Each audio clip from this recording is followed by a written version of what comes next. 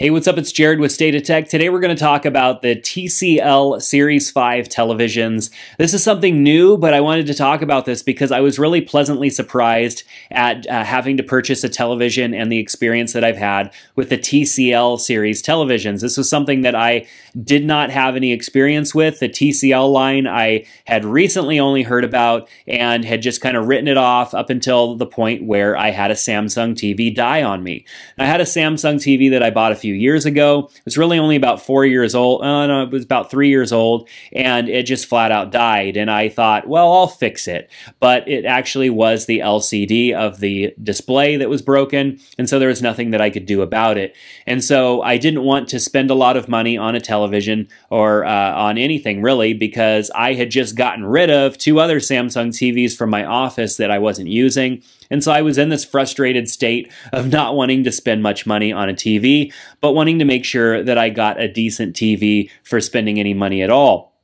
And so that's where I ended up, uh, why I ended up buying one. Now, also the fact that they're available on Amazon and they're also uh, available with free returns. So if I didn't like the TV, I had 30 days. I could decide to return it. I didn't even have to pay any money to return it if I didn't like it. Now, it turned out that I do like the TV, and that's why I'm here to talk about it today in the video.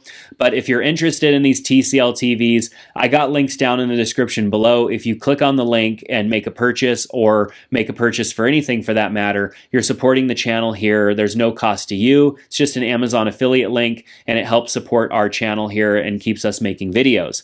So the TCL TV actually really impressed me for the price. I was blown away that I could get a 50 inch 4K television for as cheap as I did. And the prices actually have gotten a little bit cheaper since I bought mine uh, about two months ago now. And so with that experience, I was I was really pretty impressed. Out of the box, the TV was fantastic. I didn't I didn't uh, calibrate it or really do anything. I just put it up, plugged our Apple TV in, and boom, we were ready to go. And I was really pleasantly surprised with the experience uh, of this television. So I want to talk a little bit about what impressed me. I have some things that kind of underwhelmed me about the TV, but I can't get too crazy about those because the price point is just insane. And then I'll talk about whether or not I would buy one again. So the specs really impressed me. I mean, 4K UHD LCD display, 120 hertz refresh rate, which is pretty good uh, for the price point. The HDR10 support with Dolby Atmos sound. It has built-in Wi-Fi. There really was just a lot. And I apologize apologize if I like look up that way. Like the television is right there. And so it's easy for me while I'm talking about it to like want to look at it. But um, it really is pretty good. It has four HDMI ports.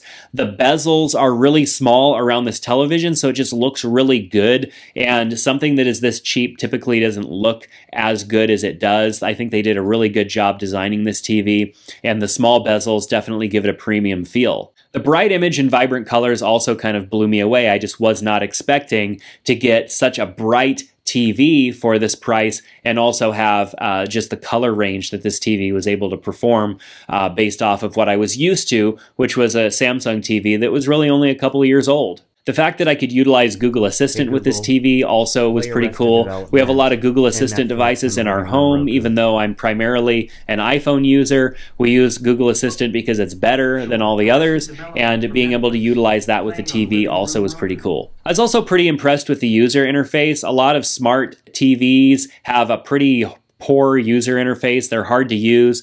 But because the TCL TV is integrated with Roku, and Roku has been around for a while, and their process has always been pretty simple, the user interface has been clean and easy to get around. That Roku interface in this TCL TV really makes for a nice experience. Then I was really impressed by the weight. This TV is really lightweight. When it got delivered, because it got delivered via Amazon, I was really surprised at just how light it was when I pulled it in and uh, pulled it out of the box and started to hang it up on the wall. So now let's talk about those things that underwhelmed me a bit. Now, the first thing that I did notice is that the image seemed very contrasty. And what that tells me is that the contrast ratio might be a little lower on this television than some others, but that's okay. I didn't really mind so much. Since I initially got the TV, we've watched a lot of movies. Disney Plus become available, and so we've watched a lot of movies on Disney Plus, and we're primarily streaming all of our content anyways. And even though I've got really good internet here at home, the streaming of the content sometimes is going to mean slightly lower resolutions in different situations.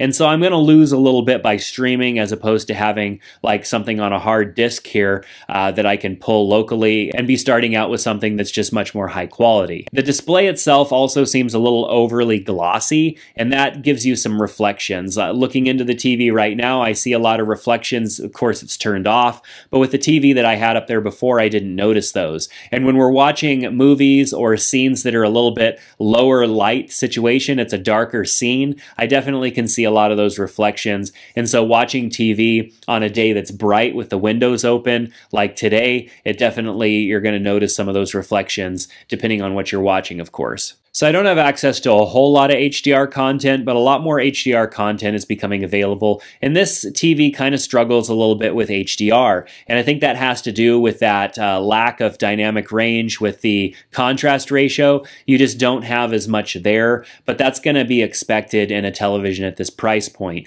It does support HDR10, which is great, which means I'm going to be able to experience that more detailed, more depth that HDR brings, but it's not going to be as good of an experience experience as if we went with a TV that was much more expensive. And one of the other frustrations is that the color and the contrast kind of fall apart when you start to view this TV from uh, any sort of an angle. Uh, the viewing angle isn't that bad, but it isn't really that good either, and you could definitely tell it start to fall apart. So when I would walk into the room from an angle and something was on the TV, it just looked really poor and washed out until I got more straight on with the TV and the experience was a lot better. Of course, uh, viewing viewing angle is a challenge for a lot of televisions, but especially at the lower price point where you're sacrificing things, you're going to lose out on that viewing angle. And on this TV, the viewing angle does fall apart a little bit, but it's not too bad. It's just, you know, if you have a very wide living room, you're probably going to want to go with a bigger television so that you can make up for that viewing angle. Now, the audio quality is also something that you never expect to be very good on a flat panel television like this. There just isn't a whole lot of room for speakers.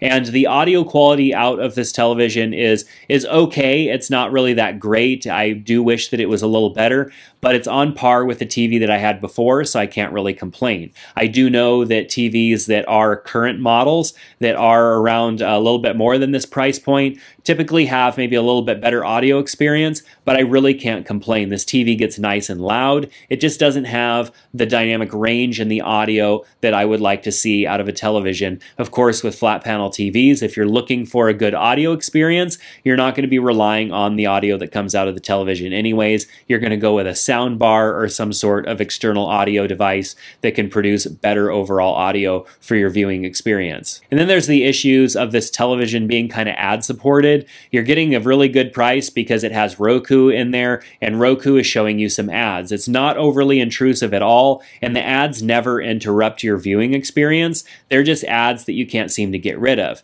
Now, because I utilize an Apple TV in my home, we just own so many movies on it and some games and stuff, and it's just easier for my family to utilize than the Roku platform.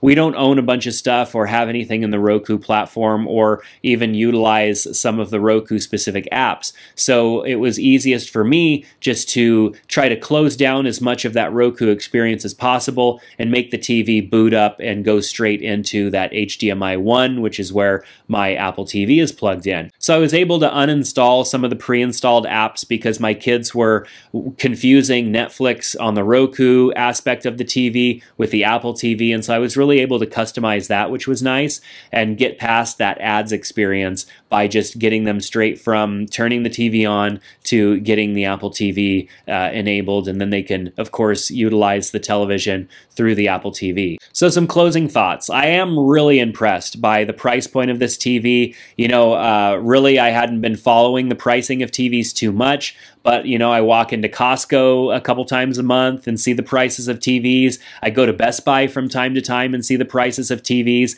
And so seeing a TV that was costing well under $400, uh, that was this size of a television, that was 4K, I was just really impressed. And so I would buy one again because the price is just too good. There are some competitors to this television that Samsung and some of the other manufacturers have that are just a little bit more expensive, but not much more. And and, they may uh, be better in some different ways.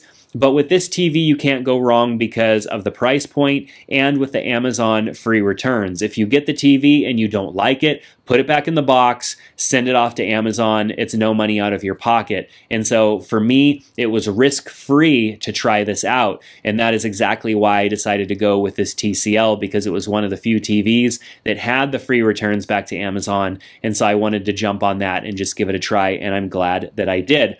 So there are links down in the description below. If you purchase the TV using my links to Amazon, there's no cost to you to do that, but it does help support our channel here, so I appreciate that. There are a variety of different sizes of the TV. I went with the 50 inch, and I kind of wish that I had gone with one size larger, but the 50 inch has been really good, and I'm glad that I went with it it wasn't a change that I decided, well, I'll, I'll utilize that free returns so that I can return it. I, I'm fine with the TV that we have. It's a little bit bigger than the one that we had prior. So I think there's a lot of value in this television, especially considering a, a lot of us are probably utilizing some other sort of a device. If you have an Apple TV like I do, I just shut down as much as I could in the Roku device so that we can control as much of the TV with, as possible with the Apple TV remote. If you utilize uh, an Amazon Fire Stick or something like that. You just you plug all these things right into your television. Uh, I used Google Stadia with it, which is a new gaming platform from Google. I also have the Google Cast or Chromecast or whatever it's called these days plugged in. So there's lots of ways that I can interface with this television with other devices. Of course, Roku is a pretty decent platform. I, I like what Roku has become over the years, but it, it's just not the platform that I really want to go with. It's nice though that I can delete all the apps and then just set it up so that it's really easy just to go right into our Apple TV so that my family has uh, the solution that they're used to, which is the Apple TV, and we have access to all of our content. So with that said, let me know what you think down in the comment section below. I wanted to talk about this TV because I posted some stuff in my Instagram story and people were asking me like, what is a TCL? I've never heard of that before. And then a couple people were asking me about it because they had seen it on Amazon and thought the price was too good to be true. So I'm here to tell you that the price in some ways is too good to be true because there are some limitations there that this TV has, some things that underwhelmed me a bit, but the price is, is fantastic and the performance is really really good. I can't you can't beat this TV with uh, all that it comes with for the price. So I highly recommend it, especially if you are just looking to replace a TV that you've had for a number of years. This is going to be a great upgrade. Uh, of course, it's not the best upgrade that's there. If you have a bigger budget, you definitely want to go with a higher end TV than this. But for those of you that are looking for a great experience that is a around a good budget as far as the price point, this is probably the best option that's out there right now. So check out those links in the description below. But that's going to do it for today. Thanks so much for checking out the video. Click that subscribe button to be notified when I put out new videos, and I'll see you back in the next one.